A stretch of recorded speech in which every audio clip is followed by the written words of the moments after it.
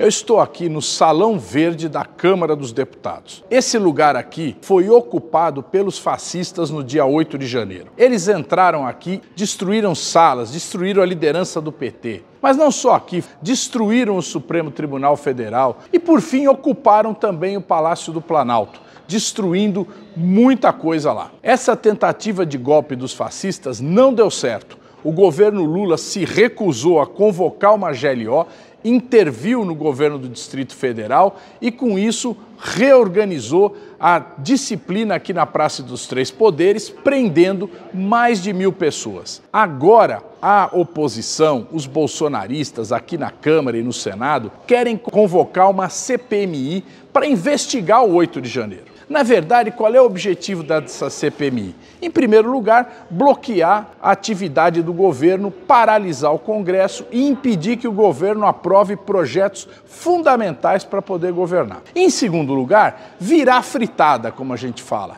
Tentar contar uma outra história, dizer que eles não têm nada a ver com aquela destruição e com a tentativa de golpe de 8 de janeiro e que, na verdade, tudo foi provocado pelo PT. Ora, essa versão é absurda. Agora, eles conseguiram vazar um vídeo que tenta colocar dúvidas sobre a atuação do general Gonçalves Dias, que havia assumido o comando do GSI, que é o Gabinete de Segurança Institucional, havia apenas uma semana. Eu não tenho nenhuma dúvida sobre a atuação do general. Ele é uma pessoa leal ao presidente Lula e leal à democracia. É por isso que nós defendemos o general Gonçalves Dias e esperamos que ele demonstre claramente qual foi a sua atuação. Agora presta atenção, vai ter a CPMI. Nós vamos demonstrar na CPMI que existe sim a culpa dos bolsonaristas, que tudo foi incentivado pelo próprio Bolsonaro e pelo seu comando,